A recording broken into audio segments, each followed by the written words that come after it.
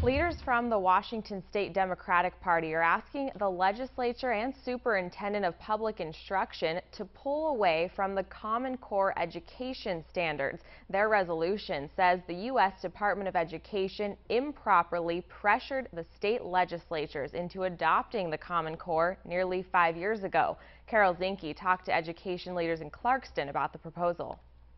The Common Core is a list of learning goals for students in kindergarten through 12th grade. For example, the standards say when students should learn how to work with fractions and what grade level they'll start learning about sexual health. Well, the standards are important. Number one, I think we have to have standards uh, that we targets that we want our, students to learn. And, and you know, it's interesting. We, as teachers, we've been working on that. As a district, we've been working on that for years. So, uh, you know, the idea of Common Core standards, I think, are good. They have common standards throughout the state, certainly. I, think is a great idea. Democrats in Washington state say the Common Core standards give the federal government too much power over education decisions.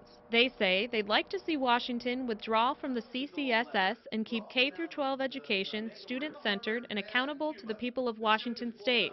Superintendent of Public Instruction Randy Dorn says he's been pushing for the national education standards for more than 20 years, and he believes the Common Core is beneficial to children everywhere. Clarkston High School principal Eric Anderson says it's also beneficial at a local level. One thing that I'm actually kind of excited about with Common Core is the fact that it really gives us here in the Valley the opportunity to do some professional development with the entire Valley. So the Lewiston School District, the Clarkston School District, DeSoto, because everybody is really working on the same set of standards, it really gives us the ability to draw in professional development that will work for everybody, not just a specific state or a specific set of standards.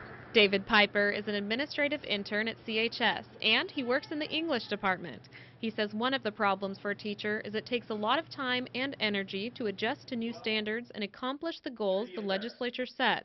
As an English teacher, you know, I, I look at the English standards and I feel like, you know, these are definitely achievable. Uh, I know that there's some discomfort with the math uh, Common Core state standards and some dissatisfaction, so it might be worth looking at.